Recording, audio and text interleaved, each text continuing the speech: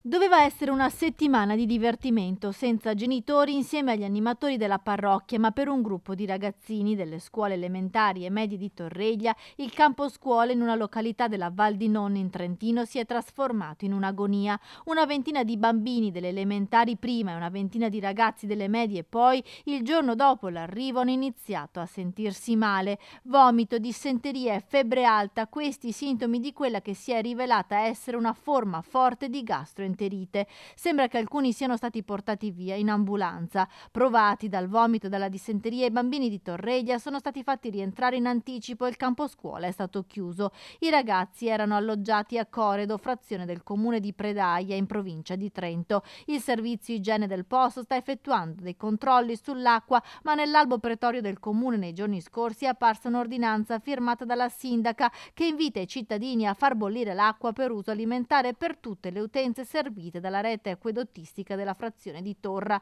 I genitori di Torreglia, preoccupati, sono corsi a recuperare i figli in montagna e ora chiedono chiarimenti sulla vicenda.